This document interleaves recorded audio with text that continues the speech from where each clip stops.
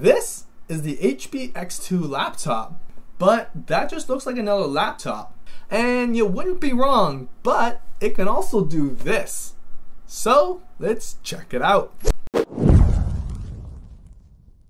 The first thing I noticed right out of the box was honestly how sleek it looked. I'm an Apple fanboy through and through, but I love the simple approach to design here with the curved edges and lack of anything that wasn't necessary. The body is made of plastic, which is what contributes to the lightweight design of about 2.5 pounds. That's just about as heavy as three small notebooks. On the right side of the screen, you'll find the micro SD expansion slot, under that, a micro HDMI port, which was nice to have when working at home for extra screen real estate. A USB 2.0 Type-C port that's used for charging with an LED indicator on top of that to report the status of your battery. And a USB 3.1 under that supports sleep and charge. Therefore, if all else fails, you've got a relatively large portable battery. Flipping around to the other side, you've got a courageous 3.5mm audio jack that supports microphone in as well. With dedicated volume buttons up top and the power button right around the corner, they do lack a clicky response and are sometimes difficult to find due to their low profile. There's also a mic input at the top that works for both the front facing camera as well as the rear 5 megapixel camera. This is my test of the front facing camera with one video light on me. You can see how the overexposed areas are pretty blown out but it works perfectly fine for its intended purpose of video chatting with people who, well, don't care how ugly you look. Although the 5 megapixel camera on the back of the laptop is much better than the front facing one, I wouldn't go and replace this with an actual camera anytime soon. I received the model that includes the HP Active Pen which runs a single AAA battery, has two input buttons, and a clip to store it in your pocket protector because there's no real way to store it on the laptop, but it is made of metal so it will attach to the magnetic hinge.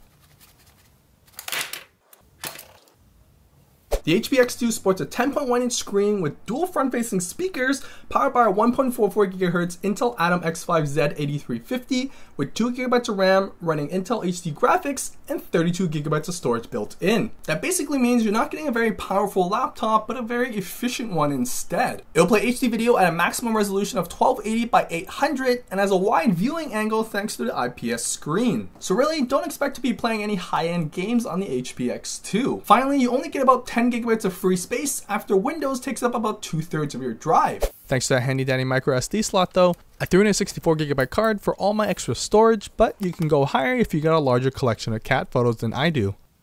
The extra space allows me to fully sync my Dropbox account to have access to all my files across all my devices. There's even plenty of room to store my Evernote database for my notes and archives. A much appreciated added bonus was the free 25 gigs for one year on Dropbox included with the HP X2. For a device with so little internal storage, having storage in the cloud is one of the most efficient ways to free up space. So you're probably asking, how well does it actually work? To start off, the keyboard is nothing to be proud of. With the chiclet style plastic keys, they feel kind of cheap and are a little more cramped and on the smaller side. But they do offer a good click response and I'm able to type over long sessions with it. Unfortunately, the touchpad is no better and probably the worst part about the whole laptop due to the size and wacky tap gesture recognition. To fix that, I turned off any tapping actions and stuck strictly to clicking left and right, which then drastically improved my experience. But this wouldn't be Excessorize Me if we didn't mention must-have accessories. And if you have the option, I definitely recommend completely ditching a touchpad and get a Bluetooth option mouse.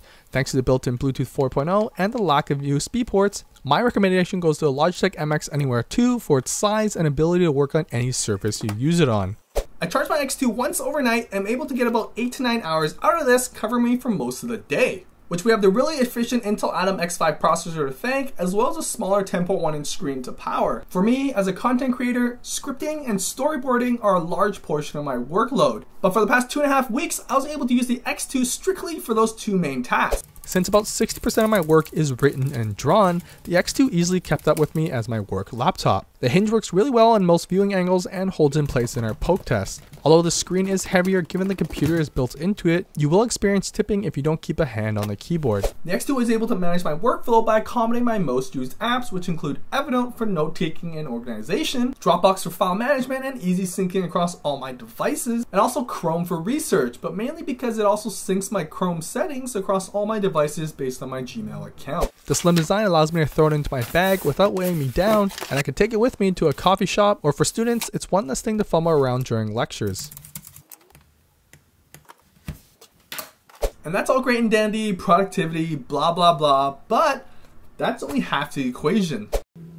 The other half, of course, is this a magnetic hinge that transforms your laptop into a tablet. But you almost wouldn't have even guessed it could do that considering how strong the magnet is. It's like a clingy girlfriend that just never wants to let go. Jokes aside though, it feels sturdy and I've never worried about the screen popping off on its own. When you do want to transform, it's a two-handed operation and I found it easiest to yank at it from a corner. There are alignment pins that would seem like common sense, but because how strong the magnet is, this often happened. Going completely tablet mode is what I consider my media mode. Thanks to those dual front-facing speakers, I found to be more than enough for casual usage. Windows 10 has become my go-to operating system even on my main rig, but it really shines when you're able to utilize the touch interface. Multi-touch is supported along with other quick gestures to help navigate Windows quickly. I didn't have any issues with the tablet recognizing my gestures, but just beware when running multiple applications, the tablet did have some hiccups and freezing up at times when just watching a YouTube video and having another window of tabs open. To complement the trio of apps I mentioned earlier and fully utilize the X2's capabilities with the HP Active Pen, I test out Windows 10's new pen and ink features.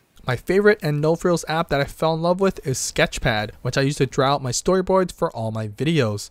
And occasionally I use Screen Sketch, which allows me to take a screenshot but instantly annotate the image so I can archive any visuals I like in other videos for inspiration in my future videos. The same goes for the built-in camera, although only 5 megapixels, it allows me to capture hand notes, sketches, and other documents for archiving in my Evernote. But even better, I'm able to annotate right onto the captured images to provide visual feedback for others or as a reference for later. So it's not a great camera for your next vacation, but it reiterates X2's capability of capturing and storing notes and ideas. There are other pen enabled apps which you can find by clicking through the Windows Ink workspace and clicking suggested apps. So what about consuming content like watching movies and surfing the web? You can do what most people do and simply hold it in your hand and you do you. But by flipping the keyboard around, it actually makes it a pretty useful stand accessory, allowing you to go hands-free to do things like this.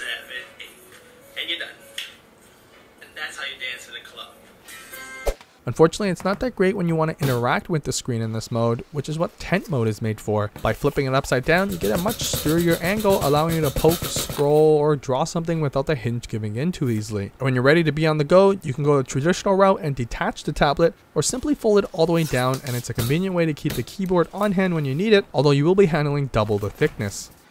The HP X2 retails for $279 and includes the HP Active Pen. If portability is your priority, then this is a budget option that offers quite a bit of functional variety. At its core, it's a fully functional laptop, albeit a lacking touchpad, but the adaptability to a tablet and a stand mode easily makes up for that. For students who jump from class to class, the long-lasting battery and the small profile will keep you up to date without bogging it down. Finally, thanks to HP for sponsoring this review and supporting the channel. I did have complete creative freedom and all opinions expressed are from my own brain. That's it. If you love what you see and want to support me in creating more reviews, head over to our Patreon and enter our monthly giveaway. Don't forget to like and subscribe if you want to see more, and leave a comment below letting me know what laptop you use.